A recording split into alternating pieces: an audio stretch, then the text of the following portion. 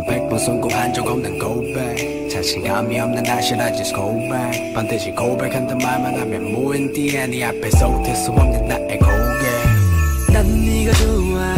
이 말이 도대체 왜 어려운지. 말하려다 말려다.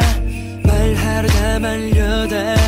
편지를 써서 주는 것마저도 왜 힘이 들지? 썼다가 또 찢었다. 썼다가 또 찢었다 너의 마음이 나와 달라. 너를 두 번 다시 못 볼까봐 그게 너무 두려워서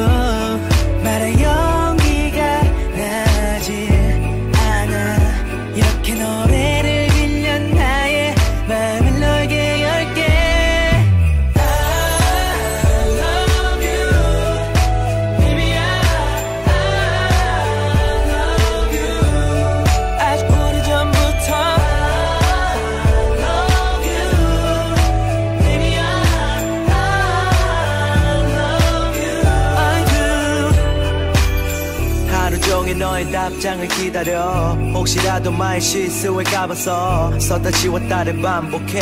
나의 진심과 달린 말이 헛나오네. 너를 보면 연습했던 드라마 같은 대사들은 네 앞에 서면 까먹은 채로 허둥대. 내 손은 너의 손 앞에서 멈칫해. 심장 소리가 너에게 들리듯이 거짓네